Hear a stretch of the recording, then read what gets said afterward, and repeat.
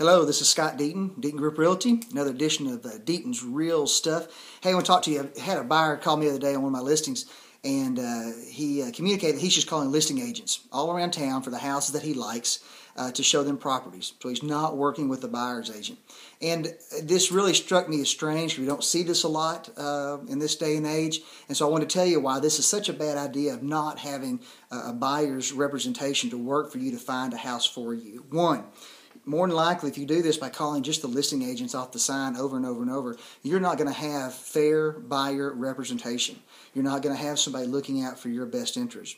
Two, this buyer's doing all the work. He's trying to find everything with limited data that's out there online and not uh, not having a realtor work for him.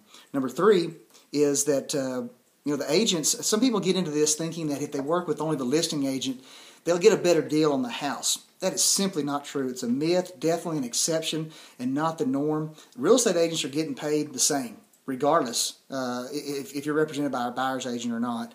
And then four, this buyer is wasting the time of 20 to 30 agents because see, only one, only one can sell the house. And so even though he's asking 20 or 30 agents to show him properties, only one house will be sold and only one agent.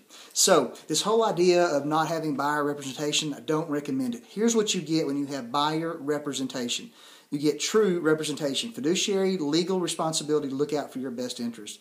Two, this dedicated agent is now doing all the work for you. And you know what?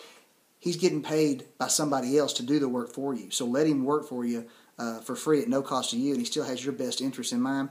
And four, you got one agent one agent to talk to, one agent doing all the work, one agent looking out for your best interest, one agent showing you properties.